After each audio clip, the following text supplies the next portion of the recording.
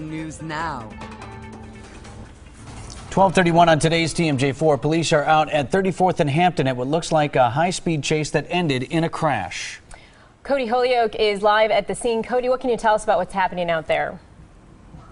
Vince Sam, good afternoon. I, I, for what we've talked to uh, the eyewitnesses here on the scene, they've never seen a car driving this fast down this stretch of Hampton Avenue. I'll step out of the way. You can see the aftermath over on the right hand side of, of your screen, there was a car uh, hit by a Nissan as it uh, sped from police here. We have uh, Glendale police on the scene as well as Milwaukee police. We'll go to our mass cam so you can see what they're looking at right now. There's a Nissan uh, about 100 yards from where I'm standing right now, and that is where police have been for the last uh, 30 minutes or so. We do know, according to eyewitnesses, that there was a high speed chase around here uh, involving, as we said, both Glendale and Milwaukee police. I talked to the man. You see that uh, blue car that was smashed up. He was just a bystander to happen to be caught up in the middle of all this. Here's what he had to say.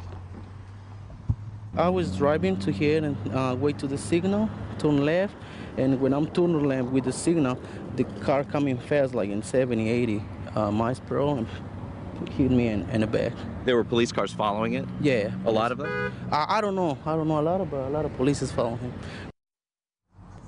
Now back live, you can see detectives and uh, uh, patrol officers going through this uh, this Nissan. We do know from uh, eyewitnesses that police pulled at least uh, one or two people from that vehicle. We hope to know more as we uh, are allowed.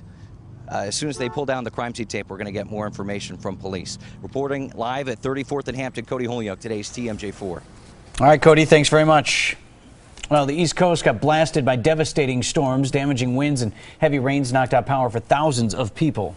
And that triggered massive travel delays from New England to Florida. Indra Petersons has more.